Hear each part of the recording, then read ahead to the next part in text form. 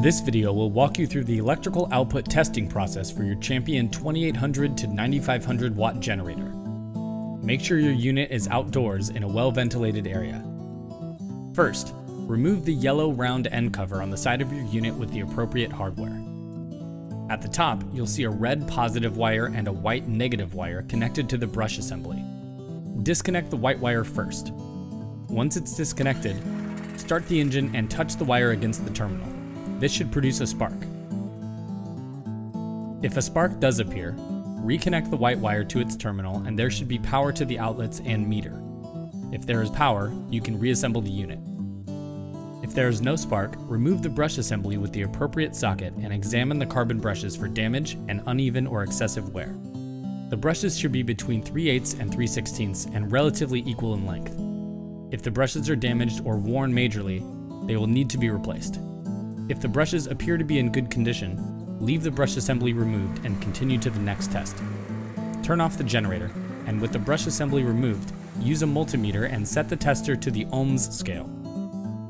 Locate the two copper rings behind the brush assembly, and touch one probe to each copper ring. This should produce a reading between 45 and 75 ohms. If the reading is not between 45 and 75 ohms, examine the soldering of the rotor wiring to the slip rings. Slowly pull the recoil to examine each solder point, and make sure they are solid and completely connected. If the ohms reading is less than 45, it means that the rotor is failing and will need to be replaced. If the ohms reading is within the appropriate range, continue to the next test. Put the brush assembly back in place and secure with the correct hardware. First, turn the engine on, and check the red wire and white wire on the brush assembly and make sure they're secure and snug. Using a multimeter, Set the scale to DC volts and place the probes on the red and white wire terminals. The voltage reading should be a minimum of 15 volts DC. If your reading is below 15 volts, continue to the exciter field test before replacing the voltage regulator. With the engine running, locate the white wire connector with four wires between the stator and the AVR and disconnect it. Of the four wires, find the two matching colored wires. They may be yellow or blue depending on the wattage of your unit.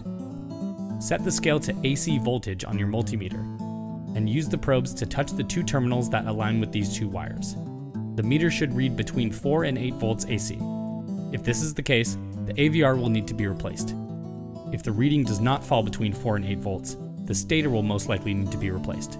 Examine the stator for cracked and broken magnets before ordering a replacement.